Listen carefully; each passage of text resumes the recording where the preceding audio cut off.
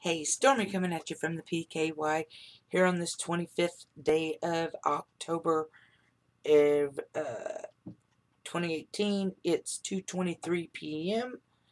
and something just came across my desk uh, that I want to share with y'all. Um, disclaimer. I cuss a lot. I drink a lot of coffee or pop both. I smoke, and I'm fat. If you can't handle none of that, you need to click off my show now. But if you like me for who I am, then stick around. Uh, so these two girls down in Bartow, Florida. I'm sorry if I mispronounced that, Bartow. Um, two middle school girls uh, brought knives to school today and uh, their plot to kill classmates, then cut them up, and then drink their blood before killing themselves was foiled.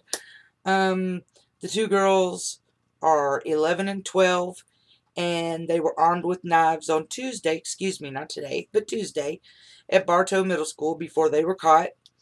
And um, no one was hurt, thank God. Now, the girls face charges of conspiracy to commit first degree murder and possession of a weapon at school, among other charges.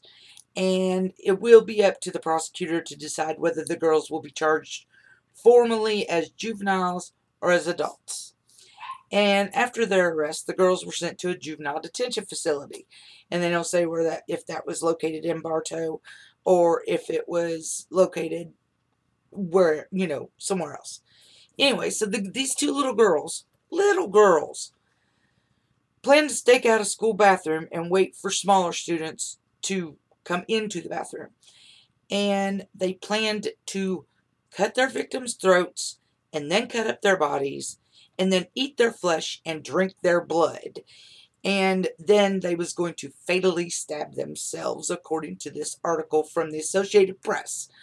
And um, the plan was to kill at least one student, but they were hoping to kill anywhere from 15 to 25 students. And they were quoted as saying, killing all these students was in hopes that it would make them worse sinners, ensuring that after they commit suicide, they would go to hell so they could be with Satan. What the fuck is wrong with people? Detectives said the girls devised the plot while watching scary movies at one of their houses over the weekends. Where the hell were the parents? 11 and 12 years old. Are you not monitoring what your children are watching? The alleged plot was foiled when administrators searched for them after they didn't show up for a class on Tuesday. The administrators found them in a bathroom stall and brought them back to their offices, and that's when they found out that the girls was in possession of four knives, a pizza cutter, and a knife sharpener. So officials with the Polk County School said that the extra, the extra police officers and guidance counselors would be at the school this week um, for all the other kids that were shaken up about this. So the school staff quickly responded to a report of suspicious behavior, and the girls were taken into custody, and no one was harmed. That was the school's official tweet, and thank goodness for that. You know, because all these mass school killings, whether it be by gun by knife, by pizza cutter, what the hell ever. They need to stop. They really need to stop. It's crazy out there. Um, but 11 and 12 years old, what the hell were they thinking? Seriously? Seriously. Come on.